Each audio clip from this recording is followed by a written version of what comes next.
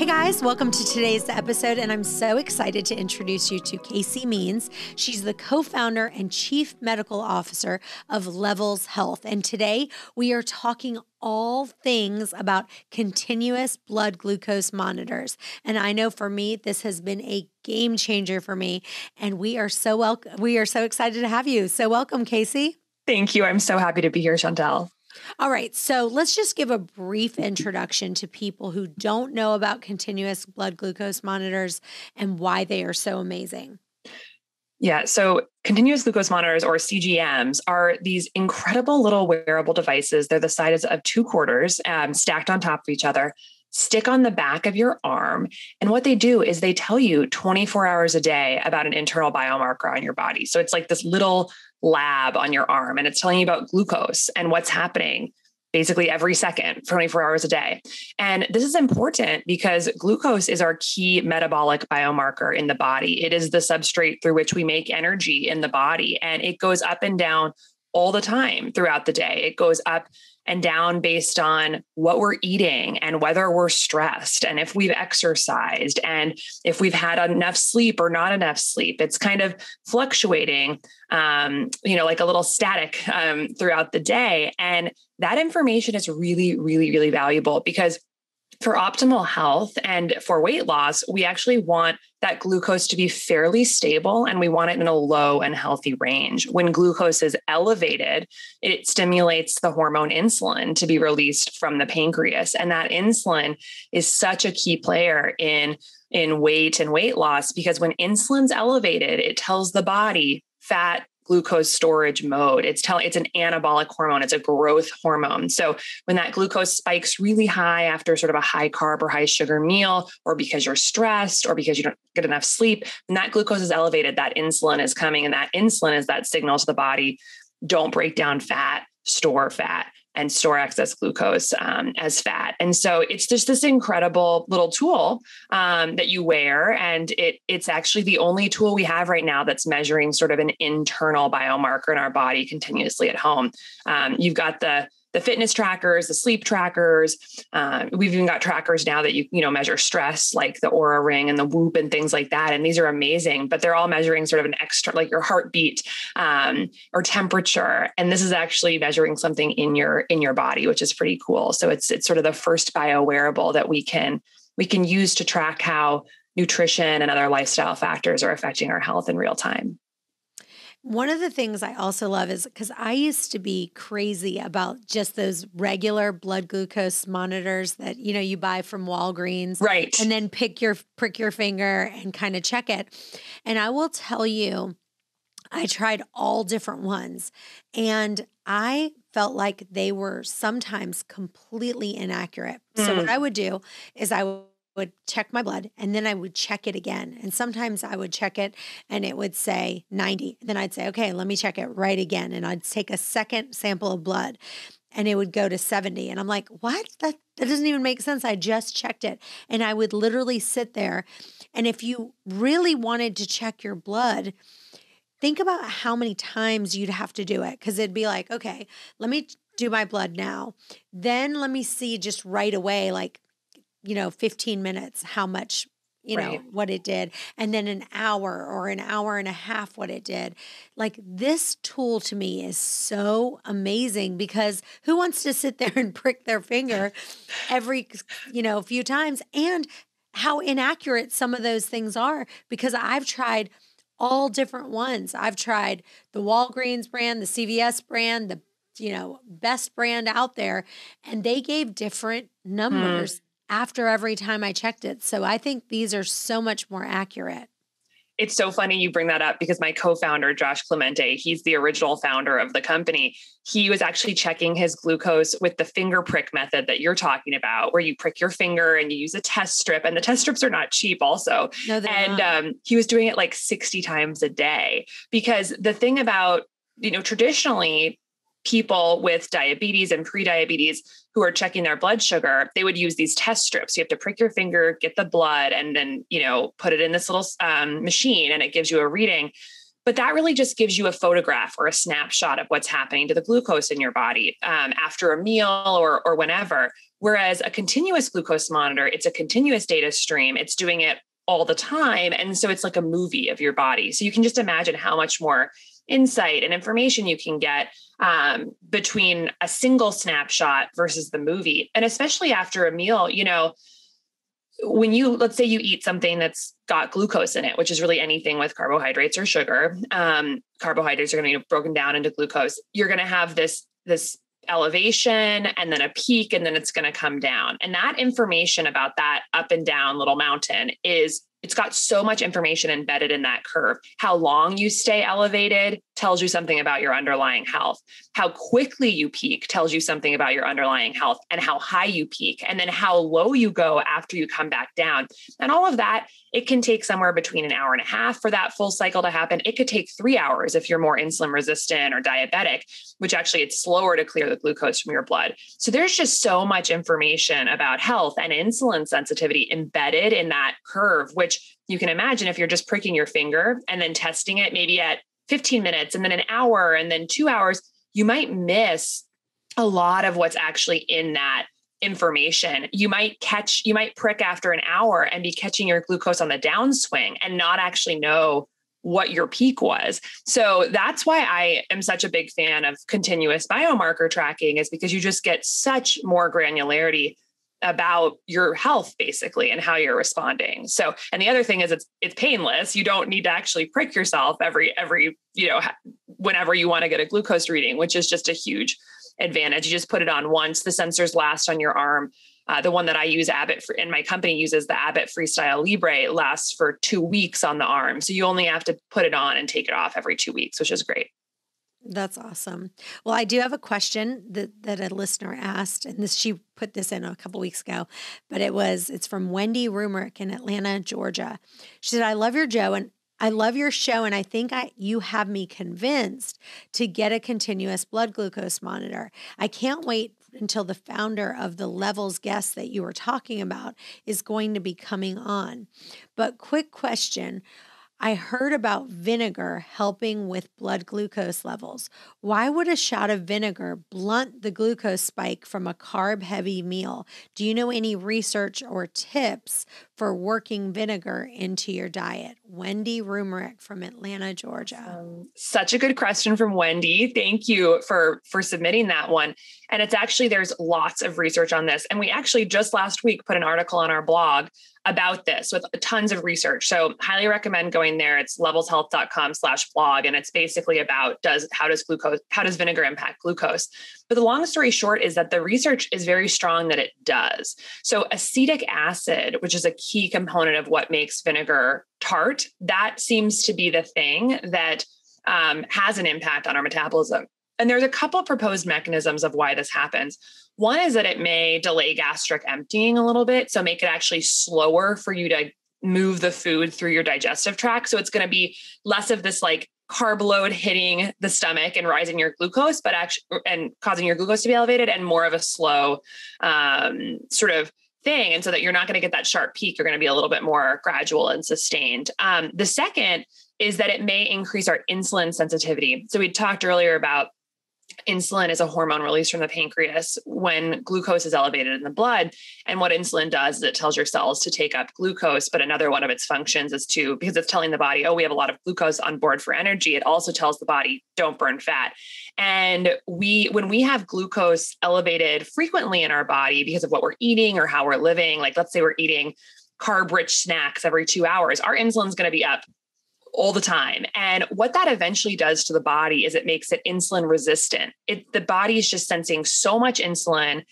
It's basically a signal to the body that we've got so much glucose on board. And so the cells actually become resistant to insulin. It says, we don't want more glucose in the cells. We're going to kind of block your function. And then the body actually produces more insulin to basically overcome that insulin resistance. And of course, you can imagine with if you're trying to lose weight, that's more insulin telling the body not to burn fat. So insulin resistance is a problem. And many, as BMI goes up, insulin resistance goes up. Those are correlated. And, and um, hopefully that makes sense why. Um, and so vinegar and acetic acid seem to have a counter effect to this. It makes your cells a little bit more insulin sensitive. So they're going to respond to that hormonal signal and take the glucose out of the blood. So that's that's part of the the science behind the vinegar. Although it's not it's not 100% fully established i don't think we know uh, fully established. I don't think we know all the mechanisms for this yet but those are some reasons why. There's also good research showing um, that really more clinical research saying give, where they've given people um, an ounce or two of white vinegar or other vinegars before eating carbohydrates and seeing what happens to their glucose. And I think one of the studies I'm thinking about was they gave people white bread and they either gave people white bread before or after. I'm sorry, um, they either gave people white bread with a shot of white vinegar before or no shot of white vinegar before. And when you had that white vinegar before the bread, the glucose was statistically significantly lower. And I think it was by around like 10 or 20 points. I don't remember exactly, but we can maybe link the article. Um, and so it was it was significant. It wasn't just like a few points. So ways to work it in. I mean, there's so many. You know, it could be as simple as adding more vinegar to your salad dressings you know making sure your salad dressings don't have added sugar like honey or sugar um, or other sweeteners and then add more vinegar um, it could be you know cooking with vinegar if you're gonna there's a lot of beautiful meat dishes like chicken dishes that that do have like vinegar in them um, and you know so really just sort of thinking about recipes that have that there's also a lot of people who actually just take a shot of vinegar um, to help blunt their glucose responses. And the I, my favorite to do that is apple cider vinegar because it tastes it's got a little bit of an apple flavor. So putting like an ounce or two in an eight ounce glass of water and drinking that 20 minutes before a meal, it's really not not so bad to to drink it and um, and it may cause the the glucose elevation from the meal to be lower. So Okay, perfect. I have one more question, and this is from Kelly G in Round Rock, Texas. I didn't even know that was a city. um, she said, I loved your episode with Thomas DeLauer. I think that was my favorite episode to date. I loved when you were talking about the dawn phenomenon or dawn effect. I don't have diabetes, but my blood sugar ranges from about 95 to 110 almost every morning. I do intermittent fasting in a six hour eating window. I still have about 20 pounds to lose. I can't wait until your new book, One Meal and a Tasting, comes out. I think one of my biggest problems is I'm currently doing two meals and a tasting and maybe a little snack. So maybe that's my problem. But can you get a guest to talk a little bit more about the dawn phenomenon? Kelly G in Round Rock, Texas. Thanks, Kelly, for the question. And yes, we can absolutely talk about the dawn phenomenon. So, the dawn effect um, is a really interesting physiology. Basically, when we're asleep at night, that's when our cortisol is is generally lowest uh, as we're going to bed and as we're sleeping in the early part of the night. Cortisol is one of our hormones that sort of it's it's considered it's colloquially called the stress hormone. It but really it also has the function the body of like keeping us awake and alert and vigilant. So it's an important physiologic hormone, but in many of us who are dealing with low grade or chronic stress, it's going to be elevated. Um, and so at night, our cortisol uh, declines in the early part of the night, but then it, as you get closer to your wake up time, cortisol rises again because we need that cortisol to help us get out of bed. And so when that cortisol rises just before you wake up, it's actually having this function in the body of telling your liver to produce glucose. So we we can eat glucose and it can go into our bloodstream, but our liver can also just make glucose. It can break down stored glucose. It can make glucose from um, other things uh, like fat and amino acids, and that's a process called gluconeogenesis. And cortisol basically gets the liver to do that because it you need energy for your muscles to get out of bed and to wake up. So because of that rising cortisol in the morning, we tend to see glucose rise right when we wake up. Like you open your eyes, the cortisol is getting you alert, and your glucose also tends to rise. So that's called the dawn phenomenon. And because people with diabetes are going to be more insulin resistant, they're going to have more trouble um, taking that glucose up into their cells, it's going to look like a higher uh, elevation. You know, they're not going to be using that glucose as efficiently as someone without insulin resistance because they're not responding to insulin as normally. So that's why in a in a person with with diabetes, you're going to probably see a much larger dawn phenomenon and it's there's some research to suggest that the bigger the dawn phenomenon even in a non-diabetic individual the more that actually is a signal that your cortisol is elevated in the morning or that you may be on that spectrum of, of insulin resistance um, you know, hearing those morning glucose numbers, 95 to 110, um, for anyone in the audience who is, who doesn't know the ranges, so basically fasting glucose, which means glucose after uh, eight hours of not consuming any calories. Uh, if that's less than 100, that's considered normal. If it's between 100 and 125, that's considered pre-diabetic. And if it's 125 126 or above it's it's considered diabetic. So so having that fasting glucose in that 100 to 110 range you know that's going to be indicative of of maybe um, insulin resistance pre-diabetes that we, you want to you know get on top of. So um, definitely you know something the, the beautiful thing is is that we can all move in the right direction on that spectrum as we improve our insulin sensitivity as we improve our glucose processing um, those numbers come down. So um, so that's a great thing about our metabolism is that we always have the opportunity to become more metabolically fit improve our metabolism improve our insulin sensitivity. And we can do that through dietary and lifestyle behaviors through um, how we eat you know getting adequate sleep stress management exercise um, and other tactics. So um, yeah so i hope that answers uh, the yeah, question. and, but i think one of the thing that is very interesting is that they say like the blood glucose that you take very as soon as you wake up is the best for you to take but to be honest you know i think that really the best would be like before you ate but maybe an hour after you woke up would be the best to take because i think everyone like from what you're saying like everyone is going to have a little bit of a spike in that blood glucose to get them going, right? Like you you need that cortisol to kind of get you like you said out of bed. So you're going to have a little bit of a spike.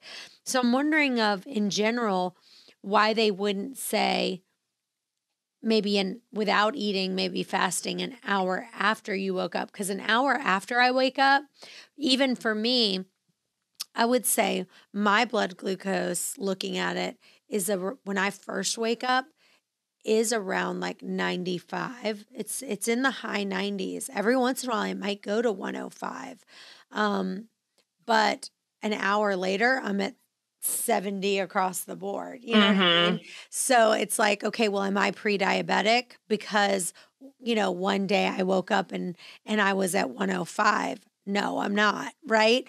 And so, and if you look at my, you know, A1C numbers on my blood work, you know, I just got it done and my my doctor was like, "Wow, your blood sugar levels are fantastic." And they've been even more fantastic since I got the blood glucose monitor because I can get a little obsessive with it because I'll be like, "Oh my gosh, let let's eat this and see what my blood sugar is," right? But I think that what what is your thoughts on that of like really kind of almost waiting and an hour after you wake up and seeing what those numbers are without eating no you know mm-hmm.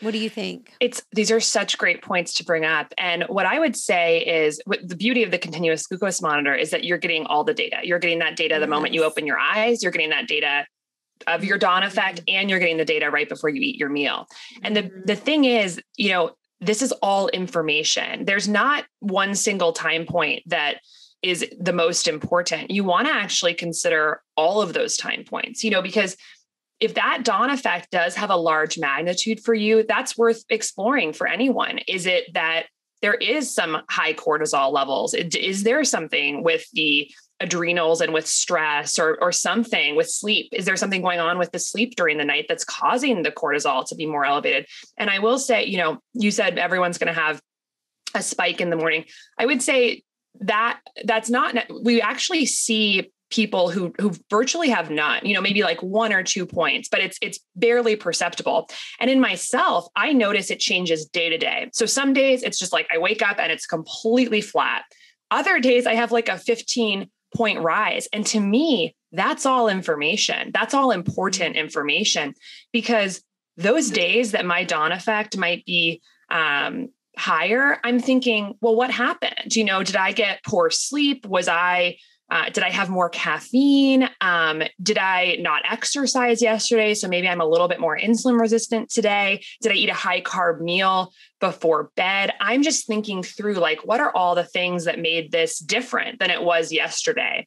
And I think that's, you know, in our in our medical system, we unfortunately really have focused on these single time point numbers. You know, you go into the doctor once a year, you get your glucose checked, and somehow that's like considered that's exactly how you are and who you are. And that's not true. It changes every single day. You know, fasting glucose can, for me, can bounce around, like you said, anywhere from like 75 to 85 some mornings. If I get no sleep, if I had no exercise and didn't eat well the day before, it might be in the 90s. So it's really dynamic. And I think that's actually really great to know about because what it does is it helps us realize okay, when we make different choices, you know, or maybe sometimes we can't identify any differences we made, it might be different the next day. And it's very motivating, I think, to sort of really stick with the health behaviors and do the best we can um, to kind of get our insulin sensitivity on point. Um, and so, so yeah, I think what you said about checking an hour after you wake up, that's fine. You know, that is still a fasting glucose. You haven't eaten for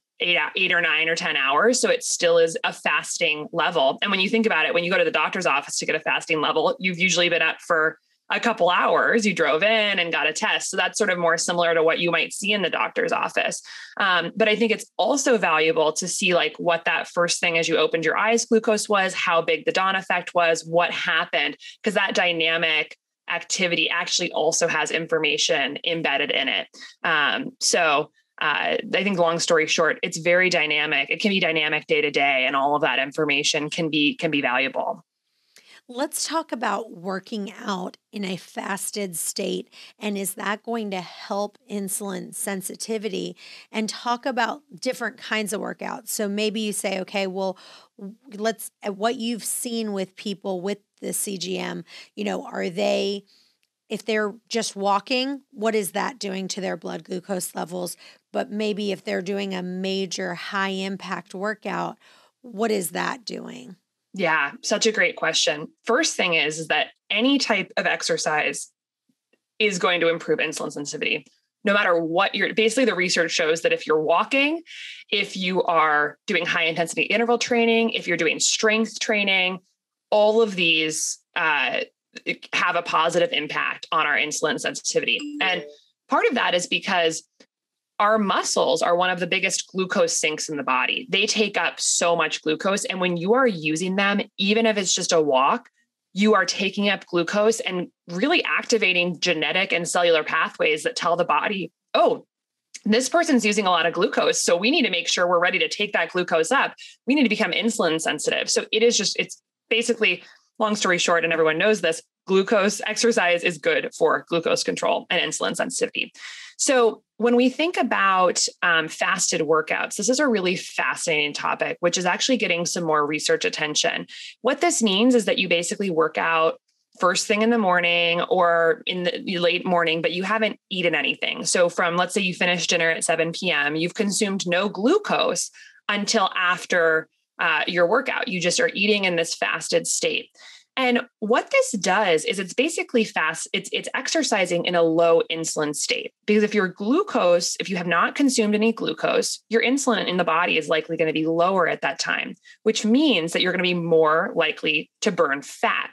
Fat and glucose are our two energetic substrates in the body. We can use glucose or we can use fat for energy. And if you're in a low glucose, low insulin state during your workout, you're going to be more likely to shift towards burning fat in your workout.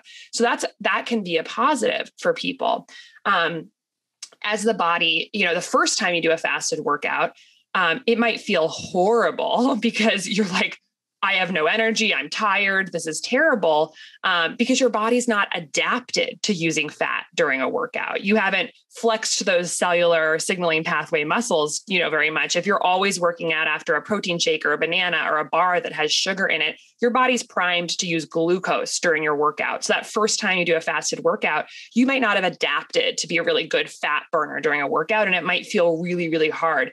But over time, the body does adapt. And if you're if you're working out in sort of a lower glucose state, your body's going to have to start becoming more efficient at using fat for the workout. So that's sort of that benefit um, of, of, of doing of working towards towards being able to be ex- exercise in the fasted state. And there's a whole whole league of, of of professional endurance athletes out there who are actually very big proponents of training in sort of the fasted low carb state they're called you know fat adapted or keto adapted uh, endurance athletes and the reason why someone would want to do that is because you know we only have about two hours of glucose stored in our body for exercise. The liver can store glucose that we can use during a workout. And it's about two hours worth of energy. But we have like weeks worth of fat to burn in our body even if you're lean you we have so so much more fat to burn so if you're an endurance athlete doing like an ironman or like a 5 or 6 hour event if you are really only adapted to use glucose during your workout then you're going to be having to replenish glucose with gels or bars or whatever all throughout your workout to be able to have energy but if you train in a low carb or a fasted state, your body is going to become much better at just tapping into fat, switching, metabolically switching from glucose to fat burning during your event. And so you can imagine after, you know, they they start running, after about an hour or 2 hours, they've really kind of depleted their liver glycogen, their stored glucose, and their body just switches on to doing much more fat burning. And what you find in the blood of these um, athletes is that their ketone levels, which is the byproduct of fat burning in the body, rise. You know, they're high. They rise, so they're clearly burning fat. And there's marathoners out there who are running marathons fasted like 26 miles out because their bodies can use the fat for energy. And certainly that's not i can't do that. There's not there you can't just immediately do that but there's adaptations that happen over time. So if people wanted to dip their toe in that you know i wouldn't recommend just like jumping into a uh, you know, a, a 10 mile run fasted, that's going to feel terrible if your body's used to burning glucose during a workout. But you can kind of ease yourself into it and sort of, you know, kind of day by day, maybe eat a little bit less of a of a carb rich snack before your workout. Maybe move towards just having a fat based snack before your workout, like nuts or avocado or something like that. And then try when that sort of feels okay, try just working out first thing in the morning, having not eaten anything, and see how it feels. But certainly, you know, I would recommend people talk to their doctor about it, um, and definitely stay hydrated. And um, you know, but it's but that's sort of the science behind it is is the idea that you're you're ha- needing to burn energy in a low insulin state, which is going to move your body towards burning more fat. Hey guys, I'm so excited. My new book, One Meal and a Tasting, is out now. And if you order the book on Amazon, just the regular paperback edition, if you go in and make a review, you will get the audio book for free. Send a copy of your receipt to questions at chantelrayway.com and you'll get the audio book right away. Mm. All right, this next question is from Selmanka in Great Neck, New York. My grandmother lives in Great Neck, New York, Selmanka. She said, Love your podcast, and I've been checking my blood glucose now after listening to a few of your episodes. I can't wait to get a CGM, but I want to tell you something strange after checking my blood sugar. One day I had black coffee, and my blood sugar just from black coffee went from 80 to 85. I thought it wasn't supposed to raise it. And then I did coffee with coconut oil and it was around 80 and went down to 70. Is that a fluke? Or is there something to it? Also, when I have a burger with no bun versus a cheeseburger, it seems the cheese keeps my blood sugar lower. Is this in my head or is any of this actually true? That's such a great question. So, with the black coffee, it's certainly possible that coffee can raise your blood sugar. And actually, it's because of the exact same mechanism as the dawn effect. It's because caffeine in coffee can elevate our cortisol levels and cause us to mobilize glucose from the liver um, and, and basically raise the blood sugar. So, that's totally uh, possible. Uh, the coffee with the coconut milk is really interesting because theoretically, the coffee, even with the, the coconut oil, uh, should raise the potentially slightly raise the um, the glucose because of the caffeine. But with all that fat in there, you know that that's I, I don't know the exact reason why that's kind of counteracting the caffeine. Um, but you know, it seems like on that day it, it didn't seem to affect her as much. It's again, talking about that day to day variability, there's so many other factors involved that might be at play here. For instance, if she got a great night's sleep before that second experiment she did with the coconut oil, her cortisol was sort of more stable that day to begin with. It's possible the caffeine didn't have as much of an effect on her. So, a lot of sort of day to day variability. Uh, other than sleep, let's say she was more stressed the day that she had the coffee without the coconut oil, that could have contributed to that that caffeine induced cortisol rise. So there's so many variables and that's why experimenting every day and sort of taking some observations about different conditions and how your glucose is, is being affected can be just so valuable. And that's actually the company that I started Levels. That's what our software does. It helps people tease out all those variables um, that might be affecting what's going on with your glucose. Because sometimes, like just like she had said, it's it's a little confusing. Like, why is it going up today and not the other day? But if we bring in those other variables, you can start to make some really interesting um, insights. So definitely not in her head. There's, you know, that that and then the burger and the cheese. That's a really um, that's a great that's a great question.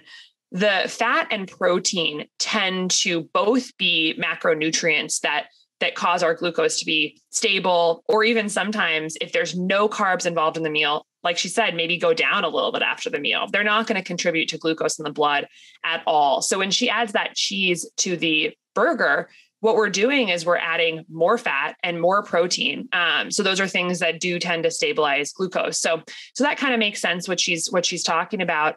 Um, there's a lot of research showing that if you eat fat or protein uh, before a carb rich meal, um, it's actually going to cause the glucose elevation to those carbs to be lower. So I tend to recommend really thinking about not eating carbs in isolation um, or not eating naked carbs, as I like to call it, and actually making sure that if you're going to eat the carbohydrates, to either preload them with fat, fiber, or protein, um, or or eat them with fat, uh, fiber, or protein. So these days, for me, if I'm going to eat an apple, I'm going to have peanut butter or almond butter or tahini and chia seeds on top of it. That's going to be fat and protein. If I'm going to eat, um, you know, bread or something like that, like make sure you're eating some nuts or something like that as well. So that's going to sort of offset that carb spike. So, um, yeah, fat and protein, I would say, are your friends in terms of blunting, uh, blunting a glucose spike.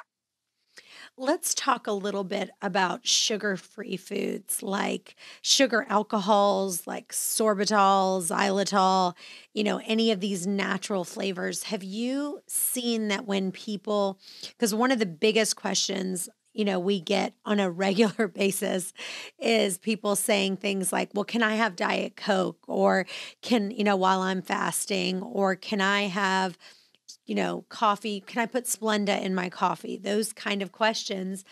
And so, you know, the big question is, well, is this spiking your insulin? What have you seen from your end on like seeing lots of people? Do you have any tests that you've done saying, okay, what is these kind of things, Splenda, the sugar alcohols, what is that doing to people's blood sugar? Yeah.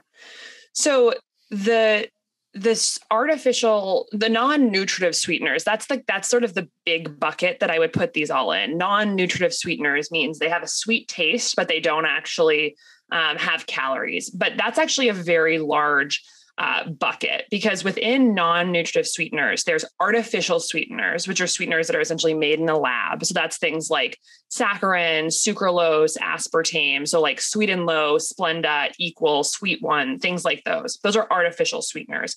Then there are sugar alcohols which are like erythritol or, or, um I don't off the top of my head I'm I'm I'm not but you know sugar alcohols are a different class basically. Um and then we've got uh, natural sweeteners. So that's things like stevia, monk fruit, yacon root, things like that. And those are actually natural. They're from nature, but they don't they don't raise they don't have glucose in them, but they still have a sweet taste. So those three buckets are all very very different things mm in terms of how they affect your metabolism. Um, oh sugar so yeah the sugar alcohols would be like xylitol and erythritol um, so we have to think about them differently. And the research actually shows very different metabolic effects. So I would say, like, long story short, avoid the artificial sweeteners like at all costs. So that's saccharin, sucralose, aspartame. Um, those are the three main ones. Anything that comes in a pink, a yellow or a blue packet, like never, never eat it. That's what's in Diet Coke and most diet sodas because these are going to have a number of effects on the body. And, you know, the science isn't totally slam dunk, but there's a lot of research to suggest that um, it has negative metabolic effects. So, first thing, it will not raise your glucose on your CGM. It's going to, you might look at your CGM after a Diet Coke or something, the glucose doesn't change at all, but that doesn't necessarily mean it's okay because it has longer term effects on the metabolism. What it's the, the and the mechanism of that is thought to be its effects on the gut microbiome. So it actually changes the composition of the bacteria in the gut and in a negative way. The gut bacteria have a huge impact on our metabolism. They make a number of metabolites like short chain fatty acids that are actually very good for our metabolism and our insulin sensitivity and how we process glucose. And over time, artificial sweeteners can change the composition of the microbiome and make it sort of less metabolically friendly. Um, there's also just, you know, this this thought that um, you know, when you have an artificial sweetener, even though it's not glucose, it's not uh, actual glucose in the blood, it does trigger the brain through the sweet, the hyper sweet taste to think that glucose is coming in. And so you can have what's called a cephalic insulin response, which cephalic means head. And so it's like an insulin response triggered from the head, not the blood. And what that does, it actually might cause your body to release insulin even though there's no glucose coming in. And so that can potentially contribute down the road to that sort of when we have insulin elevated over time, the insulin resistance um, in the body. So, for all those reasons, um, oh, and there's actually a third reason as well, which is that artificial sweeteners seem to potentially affect our or hormone levels, like uh, in the gut. One is called GLP one, and this is associated with appetite regulation, and artificial sweeteners impact it. And so, it, it may be that when you eat these artificial sweeteners, it's actually contributing to you being more hungry, wanting more food. So, microbiome, GLP, cephalic insulin response, just you know, a lot of reasons why these may not be long term your friend in terms of glucose control. But again, if you see it on your CGM or you test your finger prick, you might see, oh, it didn't change my glucose at all. It's fine. But there's other more long, long term reasons. Then there's the so and then but this is not it's not all bad because there are actually other things that you know other things you can use that might be healthier and that's the natural sweeteners. So this is monk fruit, stevia, yacon root. Um, and these are, you know, natural substances that have a sweet taste um, and which don't raise glucose levels. And these have much uh, more favorable research in terms of how they're affecting your microbiome and and insulin levels and whatnot. So you're not going to generally see a glucose elevation on your CGM, and they don't seem to have the long term effects associated with. Um, you know, with long-term uh, artificial sweetener use, they may still contribute to that cephalic insulin response that I talked about. So I would say if you're going to use something, use the natural sweeteners, the monk fruit, stevia, yacon root, and use them just in moderation. It's not a freebie. It's not a free pack. It's still going to prime your brain to have a reward circuitry associated with sweet foods, which we know that people who slowly decline sweet foods over time, whether it's non-nutritive or glucose, they will break that desire and that you know addiction to want sugar. So the more we can lower that desire in our body by you know over time lowering our sweet consumption that's good because you know if you over time it's just going to become less desirable. And when you do eat these non-nutritive sweeteners whether it's natural or artificial you're still um, activating those reward pathways that make you want sweet. So i'd say stick with the natural sweeteners and try and use them in moderation and kind of wean down over time would be my recommendation yeah, and the thing is is that with intermittent fasting, I used to be pre-diabetic. And one of the things why I love this continuous blood glucose monitor cuz my A1C test and if you guys don't know what that is, it's a test that provides information about a person's average levels of blood sugar over a 2 or 3 month period before the test. And for me, once I got this this CGM, my blood levels were even better. My doctor was like, "Chantel, oh my gosh, your your numbers are fantastic."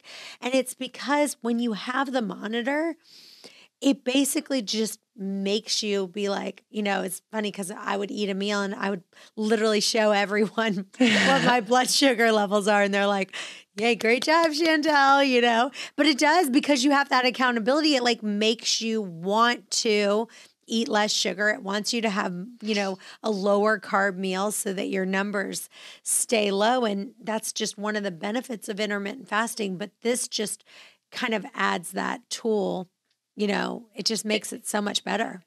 It's so true. And I think as more people start using this, that, you know, it's going to be fun at meals. Like, let's say, me and you and three other people were at a meal and all had the same thing. What's fascinating is that all of us would probably have a totally different response to that meal. And we kind of used to think because of concepts like the glycemic index that if you eat a specific food, your glucose is going to go up a certain amount. That's just inherent to the food. If we all eat a piece of white bread, it's the glucose is all going to rise the exact same. That's sort of what that whole glycemic load, glycemic index sort of concept uh, sort of promoted but the reality is is that everyone seems to respond differently to the same carbohydrate load. So it's really quite personal and it's i love when i'm with my my levels team you know we'll sometimes do experiments where we all eat the same like exact same cup of oatmeal or we'll all eat the exact same amount of black beans and everyone has a totally different glucose response. And the reason for that is because there's a lot of biochemical individuality between people and a big factor of that that's been studied is the microbiome. People's different microbiome composition means that they might respond to, to different carbohydrates differently based on how their microbiome is processing it but also things like body type, baseline insulin sensitivity, how much exercise or sleep the people got the day before. All of those things can change that response. So I think it's going to be a fun, uh, sort of a, it's going to be a, a, a party trick that we can all you know pull out our glucose levels and say you know how did you respond to the the cake and someone else has a totally different response so yeah i'm with you so now let's talk about first of all, how do you put it on? How do you wear it? How does the process work? How does someone get it? Like, walk them through if they say, okay, you've convinced me, I want it. What's the next step? And let's give them all the details. Yeah, absolutely. So, these are prescription only devices. So, they are medical devices. Uh, they are you can only get them from the pharmacy uh, in many other countries actually they're over the counter but here in the us they are prescription and they so people could you know go into their primary care doctor's office and ask for one. Um, you know part of the reason i started levels is because a, lot of physicians th- these are on, currently the indication for these devices is for people with type 1 or type 2 diabetes. They're they're they're intended to help them with their management of their disease um, help with medication management. You know what the company i started is because there's i think there's huge huge potential for people who are non-diabetic to use this tool just like you and I have been using to just optimize our diet and lifestyle and our other you know our sleep our stress and see how all these things are affecting our glucose so that we can improve our levels and hopefully ward off these downstream diseases. You know, the vast majority of diabetes and prediabetes is preventable with dietary and lifestyle. And so if we have this metabolic information early before we have a big problem, we can work to keep it stable or to improve it. So so right now, if you go to your doctor, you know, some doctors who might be in the same mindset might say, oh yeah, I, I'll prescribe this to you so you can optimize your diet and you can personalize your diet and lifestyle. But a lot of people might just not be aware that this is something that non-diabetics should even use or try. So that's actually why I started Levels because our company has a physician, a, tele, a telemedicine physician network that our customers can come and talk to our physicians and get a prescription that way. And then we pair it with software that interprets all of the data. So the sensors just get shipped straight to your home from a pharmacy people get the software which helps them interpret the data. So basically that those are the routes you can take. You can go to your own doctor and try to to get one of these. Um, they're not going to be covered by insurance if you're non-diabetic. Um, and in that route you're going to have to sort of just interpret and intuit the data yourself or you can go through a company um, like levels and actually that's just a full service operation where you fill out a form online. It's with with our program. So you go you go in um, you have a link and we have a link for your um, listeners. And basically you'll fill out just like a 10 question survey which is actually the online medical consultation. And then a physician and that's just about your underlying health and um, you know uh, just questions about you know whether it's safe for you to get one of these. A physician in your state on the back end will review those answers. And if it does seem safe for you to have a cgm our pharmacy will ship um, two sensors to your door, um, and then you'll get access to the Levels app, which interprets the data. And so when you get the sensors, there's two of them. Each of them last on your arm for two weeks. So together, those two sensors will take you through 28 days of generating glucose data. You're going to open the box and there's going to be this little applicator, and that's going to have the sensor in it. And you're going to clean off the back of your arm with some alcohol. Um, I think they're best to put on after a shower when you've really cleaned your arm well with soap. Get all the oils off your skin because these are going to have to stick with an adhesive to your arm. You're going to take this little applicator and you're going to hold it up to the back of your arm and you're going to press down. And that's going to basically push the sensor onto your arm. Now, it does use a needle to push this little tiny hair like filament under your skin, and it only goes about four millimeters. It's just like hair like filament. And that's what's actually testing the glucose in the body.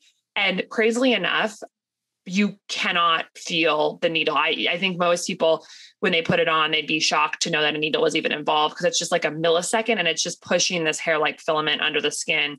And then on the surface of that sensor, there's adhesive, which is keeping it stuck to your arm.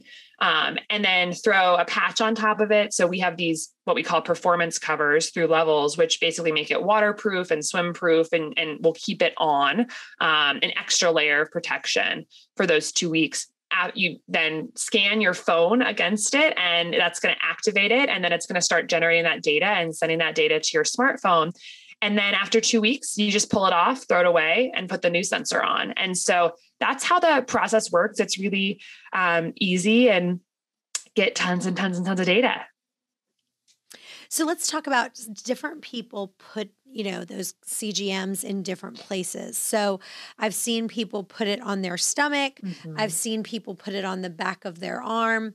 Where do you suggest and why? Yeah, so it depends on the brand of CGM that you're using. So there are three brands on the market. There's Medtronic, there's the Dexcom, and there's Abbott uh, Freestyle Libre. Um, my so my personal favorites are the Dexcom and the Abbott Freestyle Libre. The Abbott Freestyle Libre, I think, is nice because it's um, and that's the the Abbott Freestyle Libre is the one that levels ships to people. Although soon we're going to be also shipping Dexcoms as well for people who have that preference. Um, and they're just a little bit different. They both do very similar things. The Abbott is indicated for the back of the upper arm. So that's where it's supposed to be. I wish I'd worn a short sleeve shirt, but mine is, you can see the outline of it right here. So it's kind of in the fleshy, sort of fatty part behind the bicep. Um, you don't want to get it right into the muscle. You really want to get it into like a fatty area. Um, and that's where it's indicated for. It. The Dexcom is indicated for the abdomen, and um, many people use it on the back of their arm as well. And so I think from a ease of use and just sort of all aspects i think back of the arm is easier than the stomach. Um, you know it's it's very discreet especially when you have the performance cover on top of it it actually looks you know just sort of like a interesting athletic thing. Um, and so it's a little less invasive i think than putting it on the abdomen but it's that's kind of personal preference for people um, if they have the dexcom whether they want to put it on their abdomen or the back of their arm Awesome. And this is the thing that's so important. You guys have to use this link, the levels.link slash waist away. I will put that into the show notes because right now you guys have a really long wait list. And if you use this link, you're getting moved moved up to the top of the list, correct?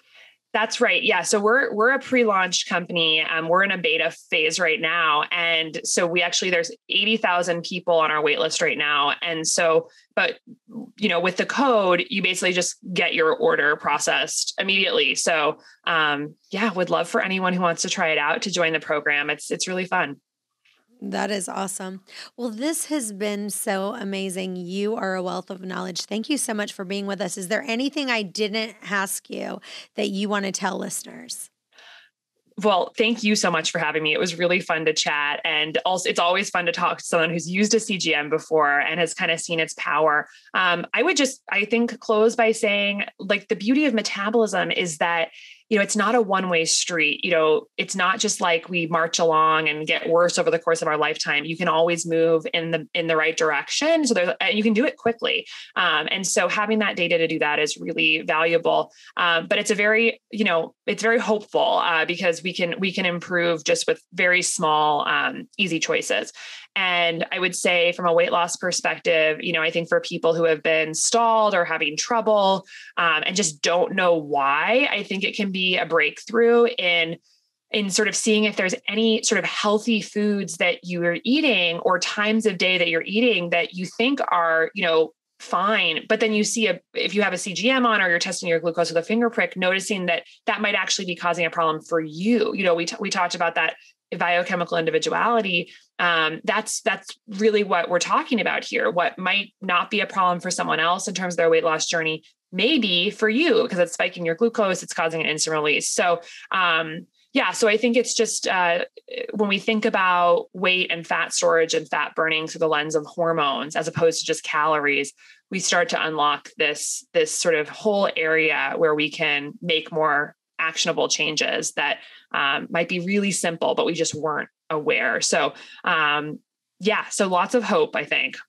And you do have to look at it individually because I know for me, I'm like the girl who asked the question about the fat because for me, if I want to see, like, if I add avocado or mm. any kind of fat, my blood sugar stays extraordinarily level.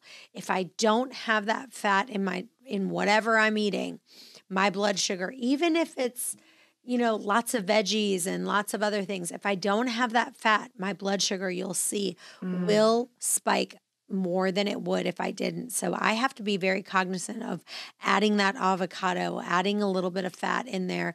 It makes a, a world of difference. And that's what you get to see is what is it for you that works or doesn't work. So make sure you guys go get that link. It's a game changer.